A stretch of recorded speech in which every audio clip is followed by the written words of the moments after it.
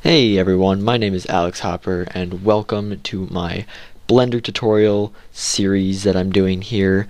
Uh, before we jump into this, just a little introduction video, uh, just in case you want to know. Uh, currently I am Mr. Pass's teacher aide for 7th hour, one of them at least, and uh, I agreed to do these tutorial series to help you guys uh, jump into Blender a lot easier and faster. Uh, currently I am a senior and I am graduating uh, class of 2017.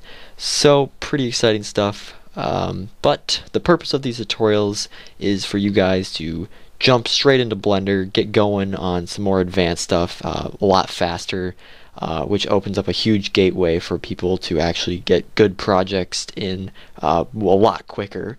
Um, so that is the, the main consensus of this tutorial series. So hopefully this helps you guys a lot. Um, and yeah, let's just jump right on into it.